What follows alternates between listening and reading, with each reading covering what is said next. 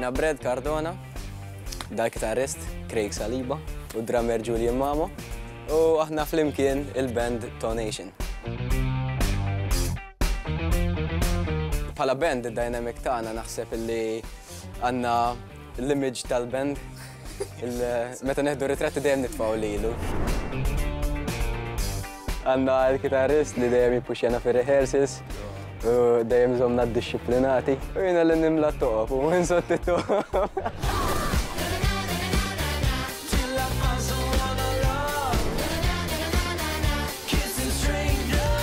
aħna nemnu li X Factor joffri exposure qawwija għall-artisti kemm Maltin u kemm barranin u naħseb fl-aħħar sibna ċ-ċans tagħna biex nidħlu.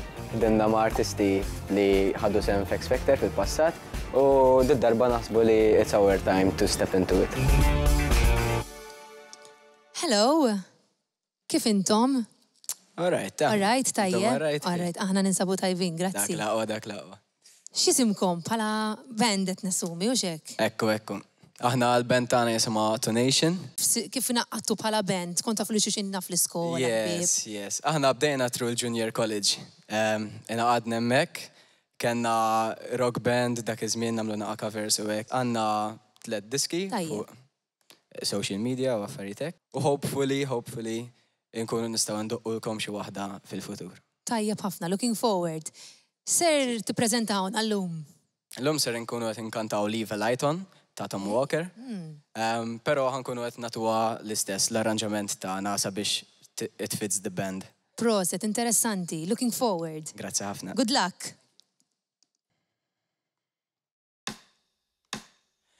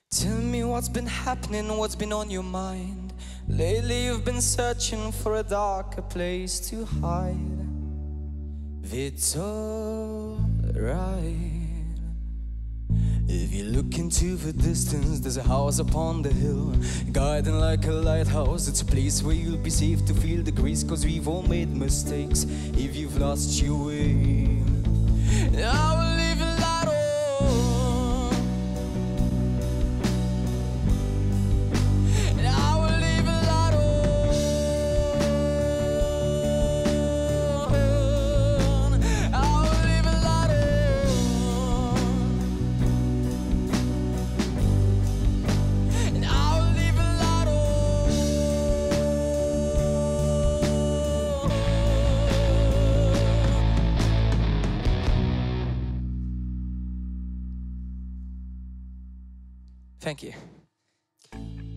Jina naħseb illi tippromettu minix ċerta fuq jekk joġobnix l-arranġament li għamiltu għal din id-diska li Id-diska proprja tinħass iktar kurrenti għalija milli kif approċċajtuha intom, però għoġobni xi ħaġa fikom ukoll.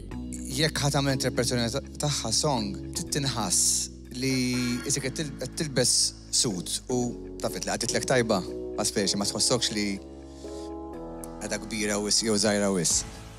U għaw fej għandi daqxie ta' problema vizavi l-arranġament u l-ħoss ta'kom ġeneriku, l-ħoss irrit Like revamp totali. Jiena kont naħseb li għandkom seta pjuttost interessanti forsi ma ma użajtuhx bl-aħjar bl-aħjar mod.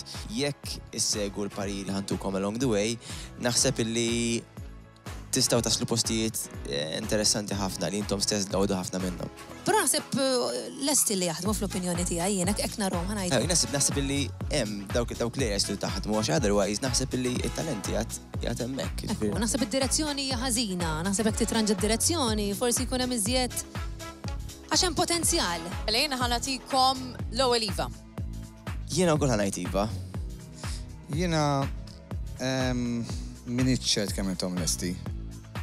biex nagħmlu li għandna bżonn nagħmlu fil-ħin limitat li għandna, ħajkolli ngħid le.